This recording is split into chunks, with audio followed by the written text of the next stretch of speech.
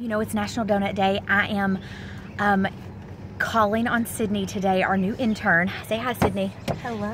Um, to we called her, we asked her to go get donuts for us. So Chad's favorite donut is that pretty little white one in the back there.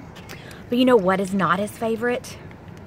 Mayonnaise. mayonnaise and he's done so much crap to me that today is really payback because number one he overslept so two we're gonna fill his donut with mayonnaise he has no clue so stay tuned because this is gonna be really really fun